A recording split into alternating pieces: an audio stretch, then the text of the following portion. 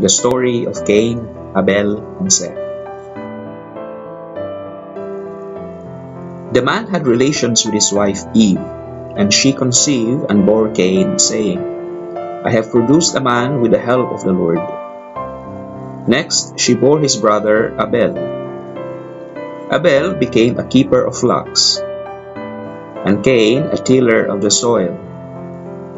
In the course of time, Cain brought an offering to the Lord from the fruit of the soil, while Abel, for his part, brought one of the best firstlings of his flock.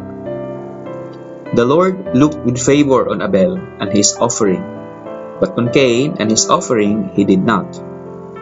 Cain greatly resented this and was crestfallen.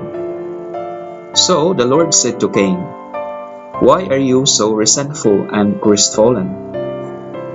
If you do well, you can hold up your head. But if not, sin is a demon lurking at the door. His urge is toward you, yet you can be his master. Cain said to his brother Abel, Let us go out in the field.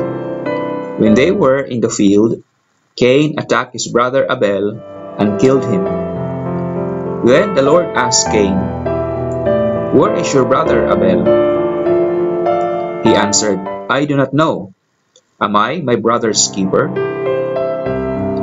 The Lord then said, What have you done? Listen, your brother's blood cries out to me from the soil.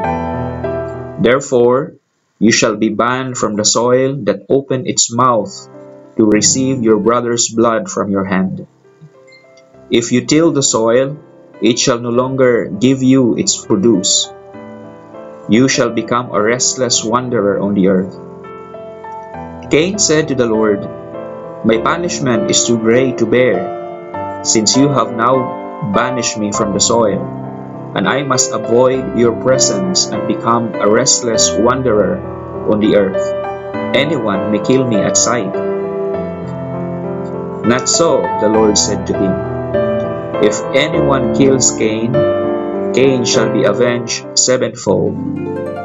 So the Lord put a mark on Cain, lest anyone should kill him at sight.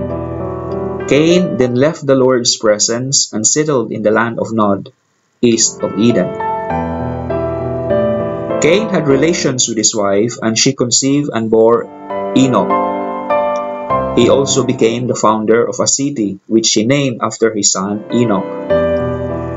Adam again had relations with his wife, and she gave birth to a son, whom she called Seth. God has granted me more offspring in place of Abel, she said, because Cain slew him. To Seth in turn, a son was born, and he named him Enosh. Seth was 105 years old when he became the father of Enosh. Seth lived 807 years after the birth of Enosh and he had other sons and daughters. The whole lifetime of Seth was 912 years. Then he died. At that time, men began to invoke the Lord by name.